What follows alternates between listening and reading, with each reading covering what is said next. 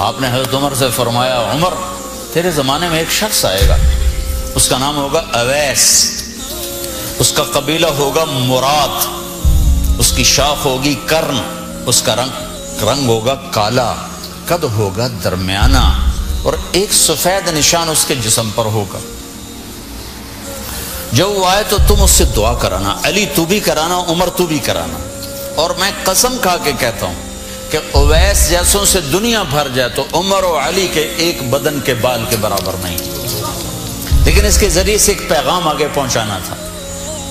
तो हज़रत उमर और हज़रत अली हैरान होकर देखने लगे कि हमें कहा जा रहा है कि अवैस से दुआ करवाएँ, वो हम सहाबी वो ताबे तो आपने फरमाया, उसने माँ की ऐसी खिदमत की है, जब वो हाथ उठाता है तो अल्लाह हाथ वापस खाली मोड़ता ही नहीं। ये पैगाम पहुंचाना था। कि माँ बाप के आगे झुको। जिस देश में आप रहते हैं, यहाँ काम की रफ्तार बहुत तेज है। माँ बाप अगर मौजूद हैं तो कम ही कुछ नसीबों वाले हैं जिनको कुछ औलाद की खिदमत मिलती है, वरना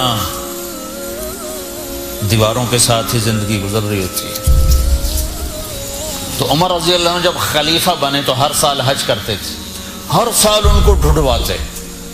अब मुझे ये नहीं पता, दरमियान के कोई साल होंगे कि एक साल आपने हज पर सारे हाजी इकट्ठे कर लिए ऐसे, अपने सामने का खड़े हो जाओ भाई, सब खड़े कर लिए। कहने लगे बैठ जाओ, सारे यमन वाले खड़े रहो।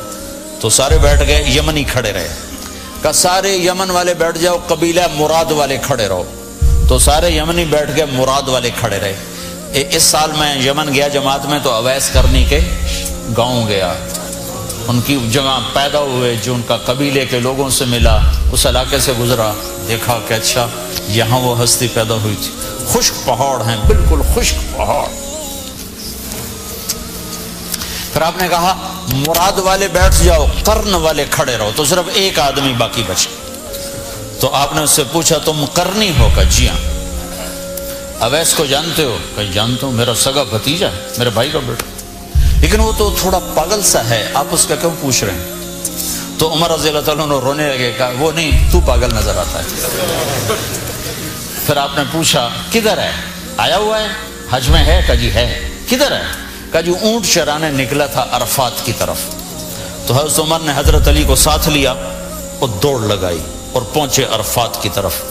तो देखा तो एक आदमी एक कीकर के दरख्त के नीचे नफल पड़ रहा और ऊँट उसके चारों तरफ़ चल रहे। तो ये दोनों हजरात बैठ गए। तो उन्होंने अवैस ने महसूस किया कुछ आ गए लोग। तो उन्होंने नमाज़ मुख्तसर कर दी, सलाम फेरा। तो उमर ने पूछा, कौन हो भाई? का जी, मजदूर हूँ। का तेरा नाम क्या है? का जी, अल्लाह का बंदा। का भाई, हम के बंदे हैं। मैं पूछ रहा हूँ, जो नाम तेरी माँ ने तेरा रखा, वो क्या है? तो वो कह, वो तो पहचानता नहीं था कि उमर कौन है, अली कौन है। वो तो पहली दफ़ा हज पे था। वो कहने लगा, तुम कौन हो मेरा इंटरव्यू करने वाले?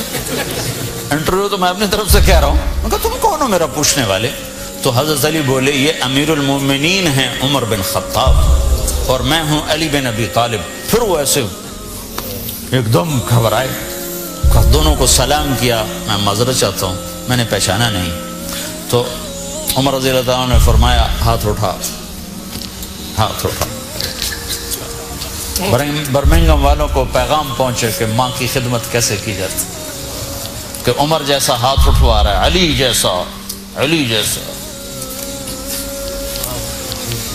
तो वो कहने लगे, मैं आपके लिए कैसे हाथ उठाऊं? मैं? मेरी औकात है कि मैं आपके लिए दुआ करूँ।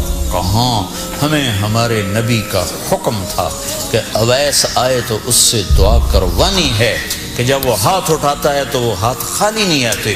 किस वजह से? तहजद जहाद, तबलीग, ज़िक्र, तिलावत तस्बी हज, उम्र, नमाजें, रोज़े, ज़िक्र, तिलावत।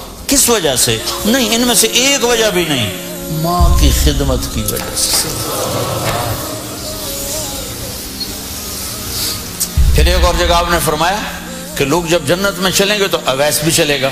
जब जन्नत के दरवाजे पर पहुँचेंगे तो अल्लाह ताला फरमाएँगे, अवैस को रोक लो, बाकी को जाने दो। तो अवैस घबरा जाएँगे, कहेंगे, या अल्लाह, मुझे क्यों रोक लिया? है तो अल्लाह ताला फरमाएँगे, ठहर जाओ, जाने दो इनको।